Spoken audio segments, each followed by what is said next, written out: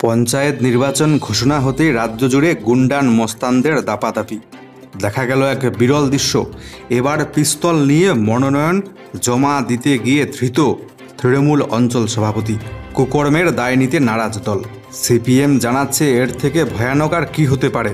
খোদ পিস্তল নিয়ে মনোনয়ন জমা দিচ্ছেন তৃণমূল অঞ্চল সভাপতি। অপরদিকে বিস্ফোরক এবার কালীঘাটের কাকু, অভিষেক বন্দ্যোপাধ্যায়ের ঘনিষ্ঠ জানালেন, আমার দুশো কোটি টাকা তো ইডির কি? মেজাজ হারিয়ে জানালেন কালীঘাটের কাকু। অন্যদিকে রাজ্যে আজকে প্রবেশ করছে বর্ষা। বেশ কয়েকটি জেলায় আজ থেকেই প্রবল ভারী বৃষ্টি এবং ঝড়ের সতর্কবার্তা জারি। ভোটের আগে মুখ্যমন্ত্রী মমতা বন্দ্যোপাধ্যায়ের লক্ষ্মীর ভাণ্ডার প্রকল্পের আদলে চালু হচ্ছে আরও একটি প্রকল্প। মহিলাদেরকে দেওয়া হবে মাসে এবার হাত খরচের জন্য এক হাজার টাকা করে। অন্যদিকে দু হাজার চব্বিশের লোকসভা ভোটের আগে রেশন ডিলারদের জন্য বড় স্বস্তি। বড় আশ্বাস কেন্দ্রীয় সরকারের। জানানো হলো, যখন ডিএ পাবেন কেন্দ্রীয় সরকারি কর্মচারীরা, তখনই বাড়বে রেশন ডিলারদের কমিশন। বিস্তারিত জানাচ্ছি প্রত্যেকটি খবর দেখছেন প্রিয় চ্যানেল রোজ বাংলা। সাথে থাকুন, জুড়ে থাকুন, শেষ পর্যন্ত দেখতে থাকুন। রাজ্য সরকারের তরফ থেকে নতুন ঘোষণা। এবার থেকে জমির পর্চাও পাবেন ফ্ল্যাট মালিকরা। চার পাঁচতলাই হোক কিংবা আকাশ ছোঁয়া বহুতল আবাসন। পশ্চিমবঙ্গের মতো ঘনবসতিপূর্ণ রাজ্যের বহু মানুষ এখন ফ্ল্যাটের বাসিন্দা। লক্ষ লক্ষ টাকা দিয়ে ফ্ল্যাট কিনলেও এতদিন ফ্ল্যাট মালিক কোনো পর্চা পেতেন না। অর্থাৎ কেনা সম্পত্তির কোনো স্বীকৃতি ছিল না রাজ্যের ভূমি এবং ভূমি সংস্কার দপ্তরের কাছে। এই কথা মাথায় রেখে এবার রাজ্য সরকার প্রত্যেকটি ফ্ল্যাটের জন্য পৃথক পর্চা দেবার সিদ্ধান্ত নিল। এই পর্চার ভিত্তিতে ফ্ল্যাট মালিকরা ব্যক্তিগতভাবে এবার থেকে তাদের খাজনা মেটাতে পারবেন। এই বিষয়টি আরও একেবারে সহজ করে বোঝাতে এক আধিকারিক জানিয়েছেন, ধরা যাক পাঁচ একর জমির ওপর একটি এগারো তলা ফ্ল্যাট বাড়ি উঠেছে। সেখানে মোট একশোটি ফ্ল্যাট তৈরি হলো। ওই পাঁচ একর জমির পর্চা আগে থেকেই রয়েছে। সেই অনুযায়ী একশো জন মিলে বা তাদের সোসাইটির মাধ্যমে টাকা তুলে খাজনা জমা করা হয় বর্তমান নিয়মে। নয়া নিয়মে একশোটি ফ্ল্যাটের জন্য আলাদা আলাদা পর্চা থাকবে এবার থেকে। ফ্ল্যাটের সাইজ অনুযায়ী বিল্ডিংয়ের কমন সার্ভিসেস এরিয়া সমানুপাতিক হারে যুক্ত করে খাজনা এবার নির্ধারিত হবে। সেই খাজনা সংশ্লিষ্ট ফ্ল্যাট মালিক নিজেই এবার থেকে জমা করতে পারবেন। পঞ্চায়েত নির্বাচন শুরু হতেই রাজ্য জুড়ে গুন্ডান মস্তানদের দাপাদাপি। এবার দেখা গেল পিস্তল নিয়ে মনোনয়ন জমা দিতে যাচ্ছেন তৃণমূল অঞ্চল সভাপতি। কুকর্মের দায় নিতে নারাজ দল। মনোনয়ন জমা দেওয়াকে কেন্দ্র করে ব্লক অফিস চত্বরে তখন চলছে দুপক্ষের মধ্যে ইট বৃষ্টি। তাদের ছত্রভঙ্গ করতে চেষ্টা করছে মহকুমা শাসকের নেতৃত্বে পুলিশ বাহিনী। পুলিশের তাড়া খেয়ে এদিক ওদিক দৌড় শুরু করেছেন দুপক্ষের লোকজন। ঠিক তখন এক সংঘর্ষকারীকে দৌড়ে ডোমকল সুপার স্পেশালিটি হাসপাতাল চত্বরে আটক করেছে দিন পুলিশ। তল্লাশি চালাতেই তার কাছ থেকে উদ্ধার হলো একটি পিস্তল। আগ্নেয়াস্ত্র নিয়ে মনোনয়ন জমা দিতে আসা ওই ব্যক্তির নাম বাশির মোল্লা বলে পুলিশ সূত্রে জানা গেল। জানা গিয়েছে, তিনি সারাংপুর অঞ্চলের তৃণমূল সভাপতি। বামেদের অভিযোগ, তাদের মনোনয়নপত্র জমা দেওয়া আটকাতেই আগ্নেয়াস্ত্র সমেত তৃণমূল নেতারা সরকারি অফিসে ঘুরে বেড়াচ্ছেন। প্রসঙ্গত, শনিবার পঞ্চায়েত ভোটে মনোনয়ন জমা দেওয়ার দ্বিতীয় দিনে সকাল থেকে বারবার উত্তেজনা ছড়ায় ডোমকলে। বামেদের অভিযোগ, তারা মনোনয়ন জমা দিতে গেলে বিডিও অফিসের সামনে আটকে দেন তৃণমূলের লোকজন। এ নিয়ে দুপক্ষের মধ্যে মারামারি হয়। এরপরে ওই আগ্নেয়াস্ত্র উদ্ধারের ঘটনা ঘটেছে। মনোনয়ন জমা দিতে গিয়ে তৃণমূল নেতার কাছ থেকে আগ্নেয়াস্ত্র উদ্ধারের ঘটনায় সিপিএমের মুর্শিদাবাদ জেলা সম্পাদক জামির মোল্লায়দিন বলেন, ঠিক দু হাজার আঠেরো সালের পঞ্চায়েত ভোটে যেমন হয়েছিল, সেই একই কায়দায় তৃণমূল গুন্ডা বাহিনীকে কাজে লাগিয়ে আবার নির্বাচনকে প্রশনে পরিণত করতে চাইছে। আমার দুশো কোটি টাকা তো এনফোর্সমেন্ট ডিরেক্টরেট বা ইডির কি মেজাজ হারিয়ে জানালেন কালীঘাটের কাকু, টানলেন আদানি আম্বানির প্রসঙ্গ। এবার একেবারে মেজাজ হারালেন শিক্ষায় নিয়োগ দুর্নীতিতে ইডির হাতে গ্রেপ্তার।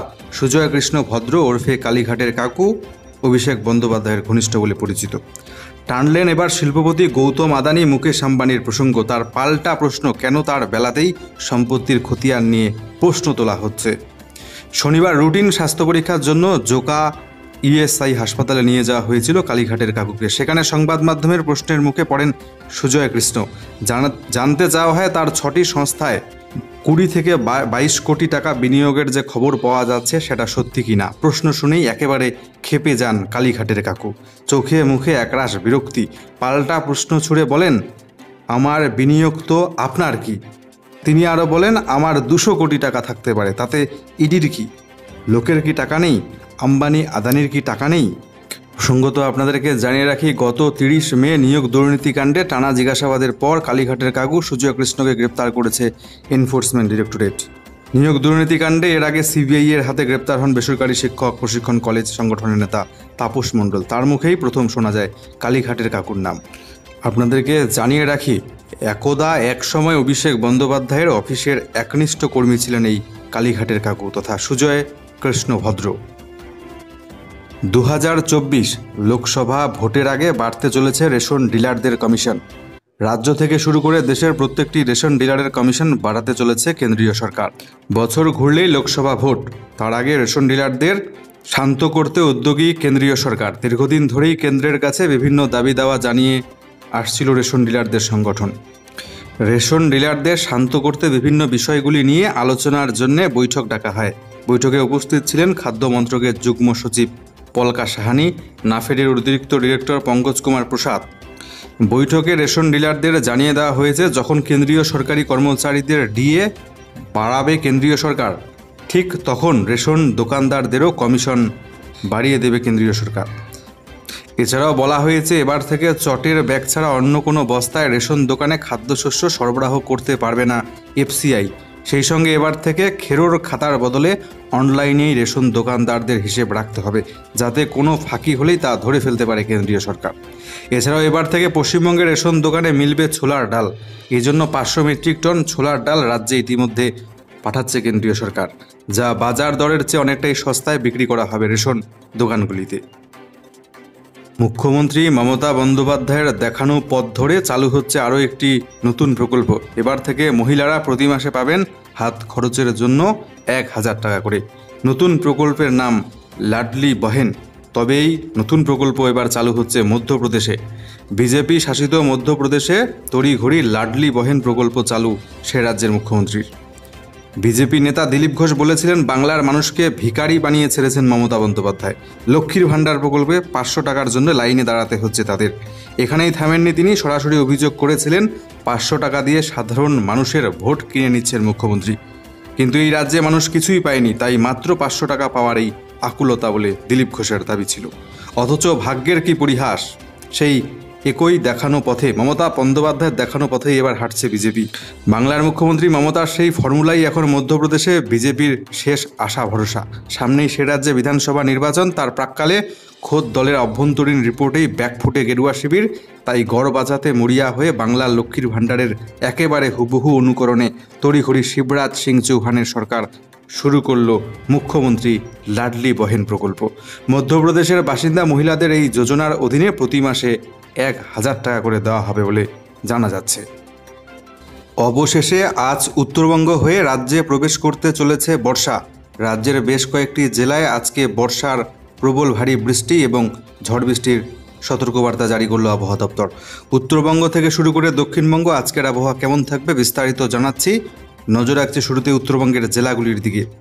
আজকে উত্তরবঙ্গের আলিপুরদুয়ার এবং কোচবিহার জেলায় বর্ষার ভারী বৃষ্টিপাত শুরু হবে বলে জানাচ্ছে আবহাওয়া দপ্তর। আজকে আলিপুরদুয়ার, কোচবিহার এই দুটো জেলায় সাত থেকে এগারো সেন্টিমিটারের মতো ভারী বৃষ্টি, তার সাথে বজ্রপাত এবং প্রবল ঝড় বৃষ্টির সম্ভাবনা রয়েছে। এছাড়াও আজকে উত্তরবঙ্গের দার্জিলিং, জলপাইগুড়ি, কালিম্পং জেলায় হালকা মাঝারি বৃষ্টিপাত, তার সাথে বজ্রপাতের সম্ভাবনা থাকছে। এবং উত্তর এবং দক্ষিণ দিনাজপুর, মালদা জেলায় আজকে হালকা বৃষ্টি, তার সাথে বজ্রগর্ভ মেঘ, ঝড় বৃষ্টির সম্ভাবনা থাকছে দুই একটি জায়গায়। সোমবার নাগাদ উত্তরবঙ্গের আলিপুরদুয়ার, কোচবিহারে ভারী বৃষ্টিপাত চলবে। বাকি জেলাগুলিতে হালকা মাঝারি বৃষ্টিপাতের সতর্কবার্তা জারি রয়েছে। এছাড়াও মঙ্গলবার নাগাদ উত্তরবঙ্গের জলপাইগুড়ি, কালিম্পং, আলিপুরদুয়ার, কোচবিহার প্রত্যেকটি জেলাতেই ভারী বৃষ্টিপাত শুরু হয়ে যাবে। সেই সময় বৃষ্টিপাতের পরিমাণ থাকতে চলেছে সাত থেকে কুড়ি সেন্টিমিটারের মতো। অপরদিকে আজকে দক্ষিণবঙ্গের উত্তর এবং দক্ষিণ চব্বিশ পরগনা, এছাড়াও পূর্ব মেদিনীপুর এবং মুর্শিদাবাদ, নদিয়া এই জেলাগুলিতে হালকা পরিমাণ বৃষ্টি, তার সাথে দুই একটি জায়গায় তিরিশ থেকে চল্লিশ কিমি বেগে ঝোড়ো হওয়া, তার সাথে বজ্রপাতের সম্ভাবনা রয়েছে। আজকে দক্ষিণবঙ্গের বাকি জেলাগুলিতে আবহাওয়া শুকনো থাকবে, বৃষ্টিপাতের কোনো সম্ভাবনা আপাতত নেই। সোমবার নাগাদ দক্ষিণবঙ্গের পুরুলিয়া, ঝাড়গ্রাম, পশ্চিম মেদিনীপুর, বাঁকুড়া, পূর্ব বর্ধমান, এছাড়াও পশ্চিম বর্ধমান এই জেলাগুলিতে হিট ওয়েভ বা তাপপ্রবাহের সতর্কবার্তা জারি থাকছে দুই একটি জায়গায়। হালকা পরিমাণ বৃষ্টি হতে পারে পূর্ব বর্ধমান জেলার। এছাড়াও বাকি জেলাগুলিতে হালকা পরিমাণ বৃষ্টির সম্ভাবনা থাকছে দুই একটি জায়গায়।